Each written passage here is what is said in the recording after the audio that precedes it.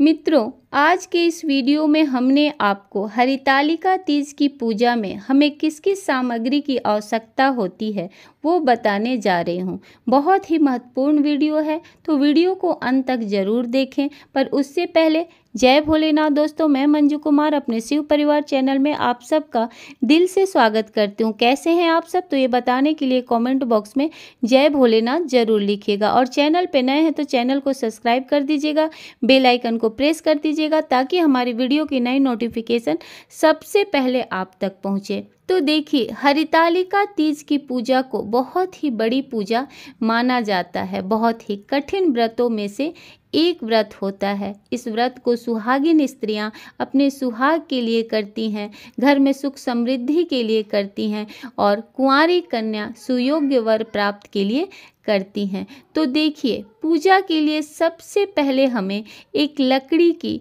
चौकी या पार्टी की ज़रूरत होती है। उसके बाद शिव पार्वती की तस्वीर या मूर्ति, गीली काली मिट्टी या बालू, बेलपत्र, केले का पत्ता, फल, फूल, वस्त्र, नारियल, कलश, तेल या घी, गंगा जल, तांबे या पीतल का कलश, दूध, दही, घी, शहद, शक्कर, पान सुपारी, जनेऊ, कपूर आग का फूल, दुर्वा, जटा वाला नारियल, बेलपत्र, अबीर, चंदन, मौली, इत्र, गुलाल, अक्षत, धूप दीप, समी का पत्ता, धतूरा का फल, हल्दी, भाँग, धतूर, पंच प्रकार के फल, मिठाई पंच पल्लव दक्षिणा, हरितालिका, तीज व्रत का पुस्तक। इन सभी चीज़ों की हमें ज़रूरत होती है तीज की पूजा में और उसके साथ ही सबसे ज़रूरी जो चीज़ होती है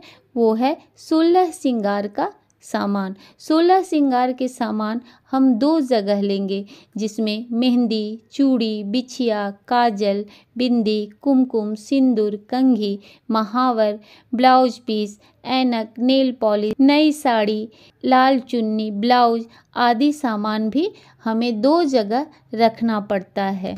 इसके साथ ही शिवजी के मन पसंदीदा सामग्री भी आप पूजा में रख सकती हैं। प्रसाद में आप खीरा, भींगा, काला चना, अनरसा, गुजिया, ठेकुआ और मक्का का भोग अवश्य लगाइएगा। मित्रों, अपना सिन्होरा भी पूजा स्थान पर ज़रूर रखिएगा। तो ये रही हरितालिका तीज पूजा का सभी सामग्री का लिस्ट। मुझे पूरा विश्वास है कि आपको हमारी ये वीडियो पसंद आई होगी। मैं भगवान भोलेनाथ से प्रार्थना करती हूँ कि वो आप पे और आपके पूरे परिवार पर अपनी असीम कृपा बनाए रखे। फिर मिलती हूँ एक नई वीडियो में। तब तक के लिए जय भोलेनाथ। हैप्पी तीज।